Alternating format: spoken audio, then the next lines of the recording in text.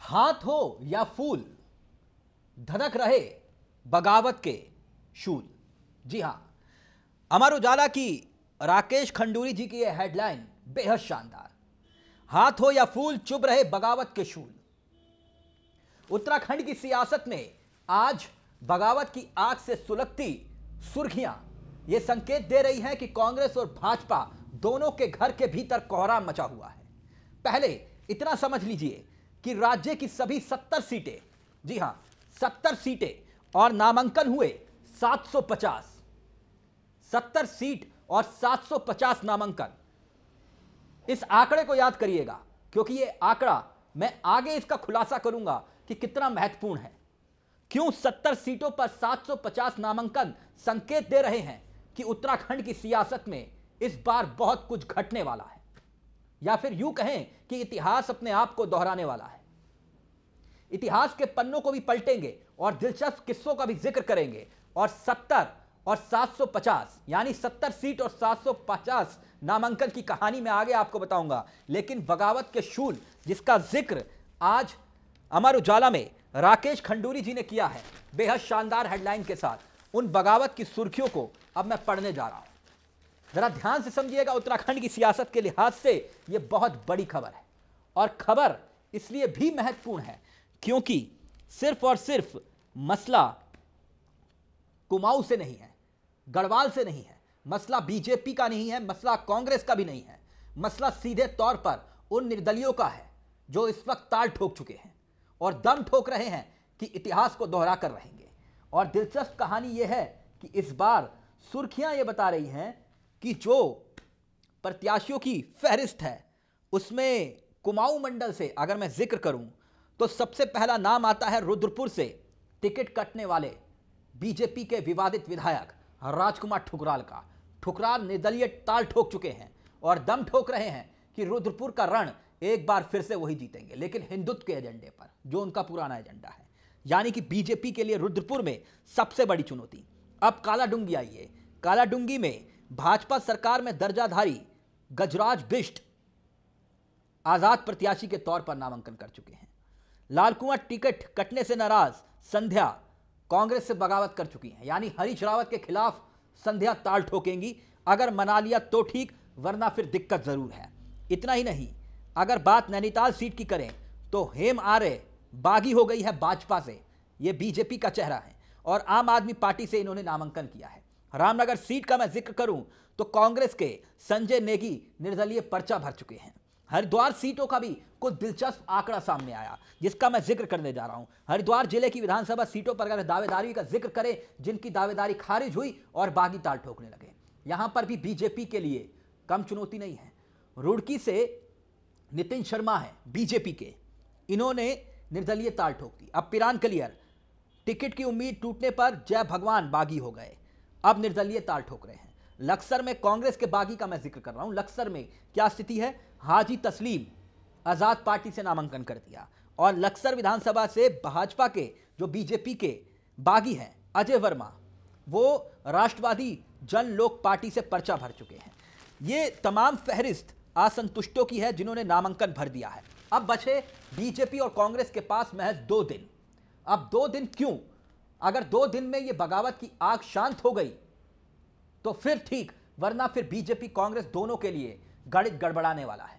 कैसे वो आगे मैं ज़िक्र करूँगा, लेकिन इतना समझिए कि 31 जनवरी, नामांकन वापस लेने की आखिरी तारीख है। यानी कुछ ही घंटों का खेल है और उसके बाद कहानी हो जाएगी दिलचस्प। मैं रुद्रपुर में ज़िक्र कर चुका हूँ, लेकिन हाँ एक बड़ी खबर यह भी है कि मातवर सिंह कंडारी, जो रुद्रप्रयाग के चेहरा हुआ करते थे, भाजपा के कभी दिग्गज नेता हुआ करते थे, पूर्व कैबिनेट मंत्री भी रहे और कई पदों पर रहे, वो भी अब बगावत करके अपना नामांकन भर चुके हैं। कांग्रेस से जुड़े रहे, जो पहले बीजेपी में थे। अब कालाडुंगी से जो, जिनका मैंने ज़िक्र किया, गलराज बिष्ट का और इसके साथ साथ ऋषिकेश से भी एक बड़ी खबर है, जहाँ पर शूरवीर सिंह सजवान, ये भी पूर्व कैबिनेट मंत्री हैं और इन्हें भी उम्मीद थी कि इनका टिकट होगा, लेकिन हरीश रावत ने टिकट काट दिया। धनोल्टी से बीजेपी के महावीर सिंह रांगड़ चुनावी रण में होंगे। ये थोड़ी सुकून भरी खबर है जोत सिंह बिष्ट के लिए, जो कांग्रेस से चेहरे हैं धनोल्टी से। उनके लिए राहत की खबर है, क्योंकि माना जाता है कि महावीर सिंह रांगड़ का एक अपना प्रभाव भी है कई क्षेत्र में, और लाल कुआँ से संध्या का मैं ज़िक्र कर चुका हूँ, लेकिन रामनगर से बड़ी खबर यह है कि कांग्रेस से संजय नेगी बागी हो गए। और घनसाली से कांग्रेस के भीमलाल आरे जो कि अक्सर अपने तेवरों को लेकर विवादों में रहे। बहुगुणा सरकार के वक्त याद होगा आपको। और पिरान कलियर से जय भगवान का ज़िक्र भी मैं कर चुका हूँ। लेकिन अब मैं 70 और 750 का भी ज़िक्र करूँगा, जो आज अखबारों की सुर्खियाँ बनी हुई हैं। ये 70 सात सात सौ पचास, क्योंकि 70 सीटें हैं और 750 नामांकन हैं। अब मोटा मोटी समझिए 70 सीटों पर बीजेपी ने प्रत्याशी उतारे 70 सीटों पर कांग्रेस ने उतारे। और 70 पर आम आदमी पार्टी ने। और 70 पर कमोवेश लगा लीजिए, उत्तराखंड क्रांति दल ने भी उतारे होंगे। ये आंकड़ा अभी मेरे को क्लियर नहीं है उत्तराखंड क्रांति दल का, लेकिन फिर भी सत्तर सत्तर, एक सौ चालीस, दो सौ दस और कुल मिलाकर लगा लीजिए कि प्रत्याशी कुल जो पार्टियों के सिंबल पर लड़ रहे होंगे तो लगभग ये 300 के आसपास होंगे। ज़्यादा से ज़्यादा मैं लगा लू। लेकिन फिर ये 750 का आंकड़ा कहाँ से आया? नामांकन का। यानी कि आधे से ज़्यादा पार्टी के सिंबल पर चुनाव ना लड़ने वाले चेहरे हैं जो कि निर्दलीय हैं। अब निर्दलियों की कहानी समझिए। इतिहास के पन्नों को पलटिए। निर्दलीय जो कांग्रेस बीजेपी से बागी होते हैं चुनाव लड़ते हैं ना सिर्फ़ चुनाव लड़ते हैं बल्कि चुनाव जीतते भी हैं। अगर चुनाव नहीं भी जीतते तो गणित को गड़बड़ा देते हैं जीत और हार के। उत्तराखंड की सियासत में कई ऐसी सीटें हैं जहाँ पर 1500, 2000, 3000 से वोट हार और जीत का मार्जन होता है। यहाँ तक कि नरेंद्र नगर की सीट याद करिए, जहाँ पर तीन चार वोट से सुबोध उनियाल चुनाव जीते और हारे। तीन चार वोट से। तो ऐसे में यह सोचिए कि निर्दलियों का खेल कितना बड़ा होगा, जो पार्टी के सिंबल पर नहीं लड़ रहे, लेकिन पार्टी को कितना नुकसान पहुँचा सकते हैं। इसलिए बीजेपी और कांग्रेस इस बात से डरी हुई है कि अगर बगावत की आग नहीं बुझाई गई तो पार्टी के लिए दिक्कत होना तय है। इतिहास का मैं ज़िक्र कर रहा हूँ 2012 का वाक्य याद करिए और 2007 का भी वाक्य याद करिए। 2007 से शुरू करता हूँ, जब राजेंद्र भंडारी निर्दलीय चुनाव जीते, पार्टी से बगावत की और समर्थन किसको दिया? खंडूरी सरकार को। मंत्री भी बने। यशपाल बेनाम, उस वक्त वो भी निर्दलीय चुनाव जीते थे। उन्होंने भी खंडूरी सरकार को समर्थन दिया।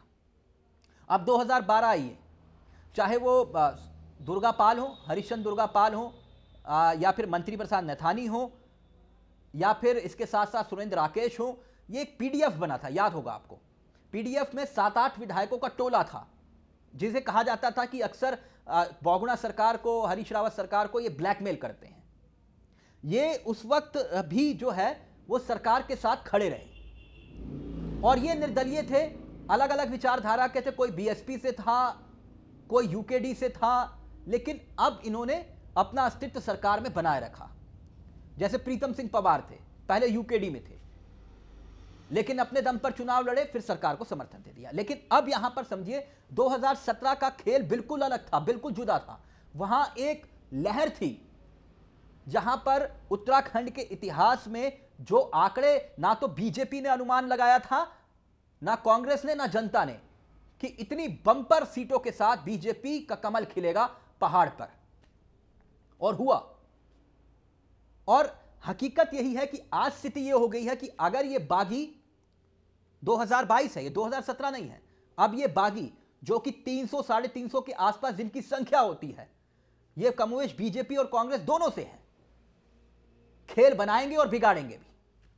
रातों की नींद उड़ी हुई है जनाब, कांग्रेस और बीजेपी दोनों के घर में। यह रहा गणित। अब चलते चलते मैं उस खबर का भी ज़िक्र कर लेता हूँ, जो आज काफ़ी दिलचस्प खबर, जो कल भी पूरे उत्तराखंड में छाई रही, वो थी डोईवाला विधानसभा सीट। डोईवाला विधानसभा सीट जहाँ पर बीजेपी के गले की फांस बन गई। अब सोचिए, वो सीट जहाँ, जो बीजेपी के लिए सबसे सेफ़ सीट मानी जाती है, यहाँ कोई इफ़ और बट नहीं होता, और माना जाता है कि यह बीजेपी का एक गढ़ है। सेफ़ लैंड है, जैसे देहरादून, कैंट है, जहाँ पर हरबंस कपूर लगातार चुनाव जीतते थे। वैसे ही डोई वाला दूसरे नंबर पर सीट आती थी, कि डोई वाला बीजेपी के लिए सबसे सेफ़ सीट है। वहाँ पर सोचिए कि सबसे अंतिम वक्त में कुछ ही घंटों पहले जब नामांकन दाखिल होना है, तब चेहरा घोषित हुआ, वो भी बीजेपी के घर में डोईवाला सीट पर, जहाँ से त्रिवेंद्र सिंह रावत ने इनकार कर दिया था कि वो चुनाव नहीं लड़ना चाहते। वो भी अंतिम वक्त में। जब पैनल डिसाइड हो चुका था तय हो चुका था लेकिन मना कर दिया त्रिवेंद्र सिंह रावत ने कि वो चुनाव नहीं लड़ेंगे अंतिम समय में। और आ, ऐसे में सवाल खड़ा हुआ था कि उनका उत्तराधिकारी कौन होगा उसका उत्तर मिल गया। क्योंकि बाहरी प्रत्याशी के तौर पर जो राष्ट्रीय महामंत्री है महिला मोर्चा की दीप्ति रावत वो एकाएक सामने आई उन्होंने दावेदारी ठोकी और ये नाम उछला कि उनका नाम फाइनल हो चुका है। लेकिन दीप्ति रावत का विरोध खुलकर हुआ। बगावत का बिगुल बच गया। अब ऐसी स्थिति में तय करना पार्टी के लिए ज़रूरी था कि त्रिवेंद्र सिंह रावत की पसंद क्या है। त्रिवेंद्र सिंह रावत ने अपने चहीते ब्रिजभूषण गैरोला को चुनावी रण में उतार दिया। जो ठाकुर और ब्राह्मण वाला आरोप अक्सर लगता था त्रिवेंद्र सिंह रावत पर, उन्होंने गैरोला पर दाव खेला और उन्होंने गैरोला का नाम आगे कर दिया और उन्हें चुनावी रण में उतारकर अपनी विरासत डोईवाला की उन्हें सौंप दी। लेकिन डोईवाला का सीन इस बार आसान नहीं है। इस बार खेल दिलचस्प है, क्योंकि कांग्रेस ने भी युवा चेहरे पर दाव लगाया है। तो ये थे सियासी किस्से जो अखबारों की सुर्खियों में छाए रहे। यानी कुल मिलाकर ये कि हाथ हो या फूल, धधक रहे बगावत के शूर। जो शांत करेगा, वो जीत जाएगा चुनाव। लेकिन इस बार 2017 नहीं जनाब 2022 है। देखिए, इस बार ऐतिहासिक ये आंकड़े बता रहे हैं, जिसका 70 और 750 का मैंने ज़िक्र किया। नामांकन वापस ले लेंगे 50 या 100 लेकिन फिर भी गणित बनेगा और बिगड़ेगा। यानी चौंकाने वाले फैसले और निर्णय जो जनता देगी, वो लगता हुआ दिखाई दे रहा है। कुछ भी हो सकता है इस बार। नमस्कार, जय हिंद, जय भारत, जय उत्तराखंड।